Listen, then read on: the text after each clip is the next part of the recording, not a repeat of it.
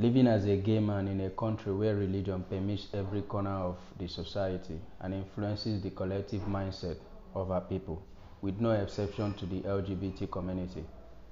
Imagine a situation where you are constantly seen as a demon by your community simply because you express love differently. It means the only time you find peace is when you are asleep. But waking up every day, you crave for acceptance. In order to be accepted as a normal human being, you dress and behave consciously to avoid suspicion of your sexuality, leaving you in fear and self denial every day.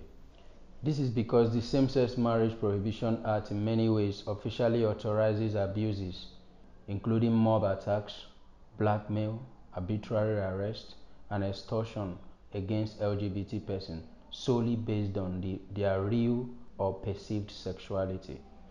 Stigma and discrimination from healthcare providers has further driven LGBT persons underground in isolation with reduced access to sexual reproductive health and rights.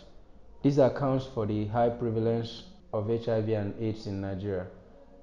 Thank God for the civil society organizations that has provided safe spaces for networking, ultimately providing friendly comprehensive healthcare services, employing alternative narrative to correct the perception by telling our stories ourselves.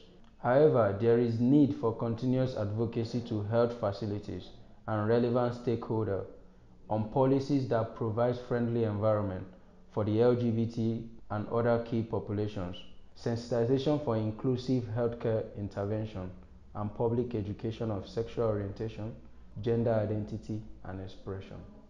I hope through my advocacy, the LGBT and other key population would be free without fear to walk into any healthcare facility, faith community, and enjoy socialization without being seen as abnormal.